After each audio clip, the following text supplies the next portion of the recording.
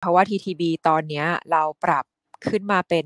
top pick ของกลุ่มธนาคารนะคะ แทน BBL แล้วก็ KTB อะนะคะ ถามว่าทำไม TTB ถึงน่าสนใจ หลักๆเลยอะนะคะ ก็ในเรื่องของตัว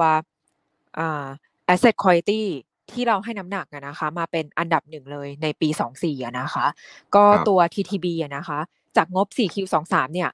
เราจะเห็นได้เลยว่าเขาใส่สำรองอ่าก้อนใหญ่เข้ามาค่อนข้างเยอะอะนะคะ ดังนั้นเนี่ยสิ่งที่จะสามารถสื่อได้ก็คือว่า outlook หรือว่าปี 24เนี่ยการใส่สำรองพิเศษ ก็บอกเลยว่าจริง ๆ TTB ไม่จำเป็นจะต้องใส่สำรองพิเศษเข้ามาแล้ว เพราะว่าเขาครับเหมือนกับว่ามีการเตรียมตัวตั้งแต่ 4Q23 แล้วอะนะคะ ถามว่าแล้ว4 4Q23 ที่เขาใส่สำรองก้อนใหญ่เข้ามาเนี่ยเขามีปัญหาเรื่องตัว asset quality หรือเปล่า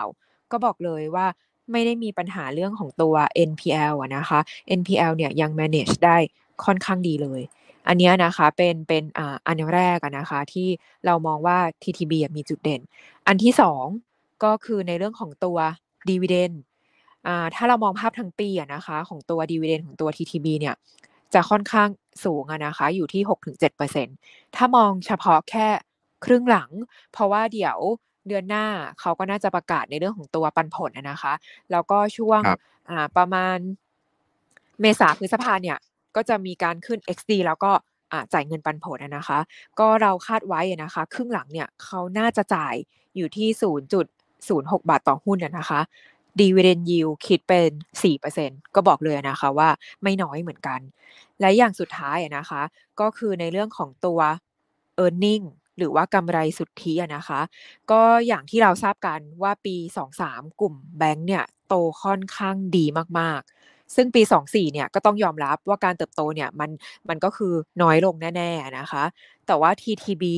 เรามองว่าเป็นแบงก์เดียวอะนะคะ ที่น่าจะโตได้เป็น double digit ที่เราคาดไว้เนี่ยประมาณ 11% ROE ครับก็ยังรักษาระดับได้ค่อนข้างสูงอะนะคะ อยู่ที่ประมาณ 8.8%ถามว่าทำไมเขาถึง โตได้ดีกว่าเหมือนกับว่าแบงก์ใหญ่หรือว่าเพื่อนๆเขาอะนะคะ ก็หลักๆเลยเนี่ยของตัว TTB อะนะคะเขามีผลประโยชน์ทางด้านภาษีเข้ามา จริง ๆ ตรงเนี้ยเราเห็นตั้งแต่ 4Q23 แล้วเขามีการใช้ไปแล้วอะนะคะ แต่ถามว่ายังเหลืออีกเยอะหรือเปล่า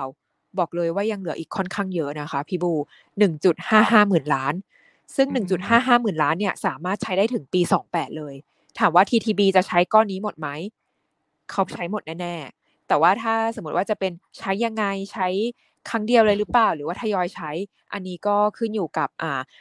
management อะนะคะว่าว่าเขาเหมือนกับมีมุมมองยังไงอะนะคะ ก็และแล้วแต่ครั้งเลย แต่เบื้องต้นเนี่ยพอเขามีสิทธิในฝั่งของตัวทางภาษีแล้วเนี่ย จริง ๆ พูดง่ายๆว่า TTB อะไม่จำเป็นต้องทำอะไรก็ได้ ในฝั่งของตัวงบกับในฝั่งของตัวปันผล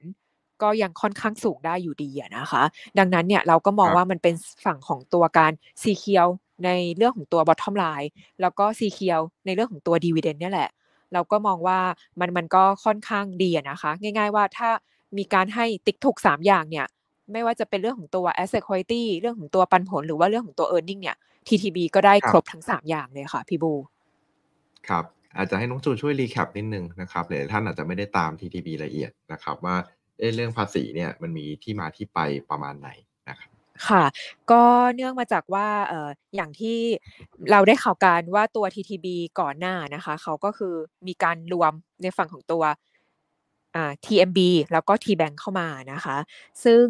ในฝั่งของตัว TBank เนี่ยก็เป็นบริษัทย่อยของตัว TTB อะนะคะ ช่วงที่ผ่านมาเขาก็อยู่ระหว่างการจัดการในเรื่องของตัวอ่าการเลิกกิจการของของบริษัทย่อยอันนี้เนี่ยแหละ พอณปัจจุบันเนี่ยเขาก็คือเหมือนกับว่ามีการชำระในเรื่องของตัวพวกบริษัทย่อย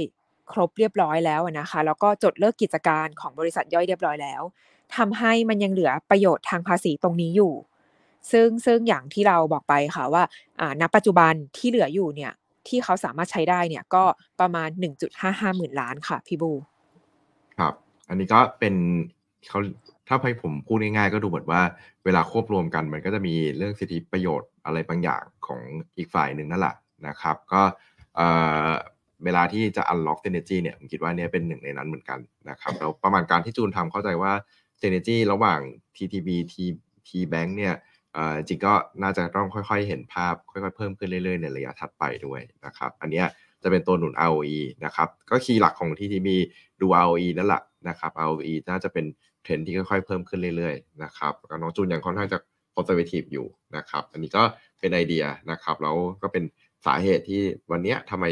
น้องจูนปรับ top pick ของกลุ่มแบงก์เนี่ยเป็น TTB นะครับ